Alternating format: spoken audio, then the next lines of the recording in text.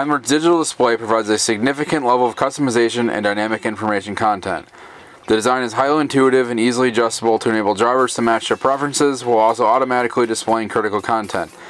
The digital display resulted from countless hours of driver observation, user testing, prototyping, and meticulous design work to create this advanced user experience. The digital display allows seamless viewing selection between two minimized views, basic view, maximized view, and a driver customizable favorites view.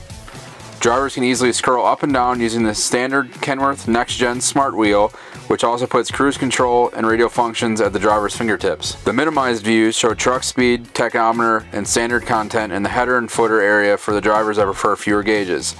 The basic view on-screen content adds gauges such as fuel, air, coolant, and oil pressure.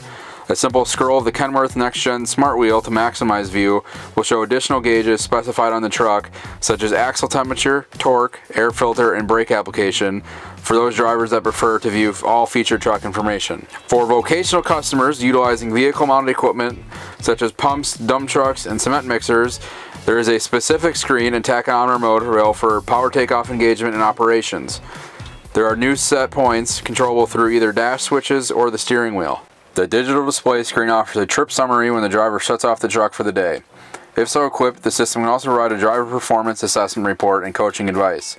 A drive summary, which reports statistics on information such as average fuel economy, idle time, cruise control usage, as well as any potential mechanical issues, also appears at day's end.